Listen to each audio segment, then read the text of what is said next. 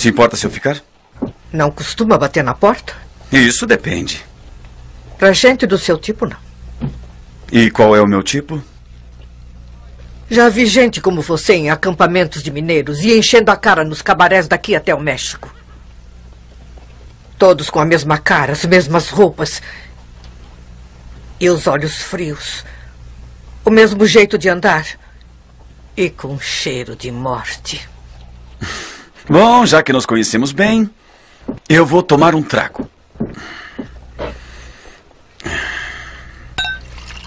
Bonito lugar esse aqui. Você tem bom gosto.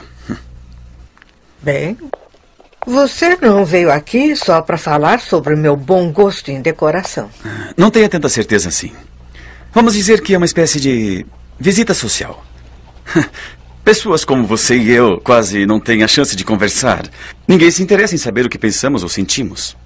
Sentimentos? Não tenho esse luxo. Não mais. Não?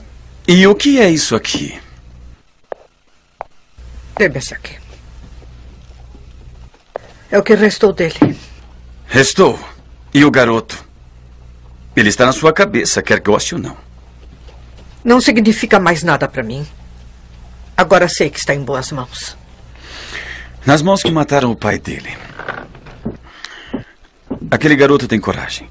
Quanto tempo acha que vai levar para o Ben ter problemas? Vamos, admita. Cedo ou tarde ele vai aprontar. Vai tentar matá-lo e pode ser enforcado mais tarde. O que posso fazer? Ele não fala comigo. Talvez ele não precise. Talvez já tenha feito isso. Quer dizer com isso? Eu estava no funeral. Ele tentou matar